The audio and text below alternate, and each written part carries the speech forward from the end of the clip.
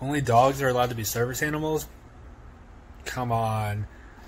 In Florida, there's a lady with an alligator as a service animal. I mean, that might be taking it too far, but I think they could expand it maybe just a little bit more to allow maybe cats, even a hamster if it's in a cage on an airplane. I know flyers have taken advantage, but come on.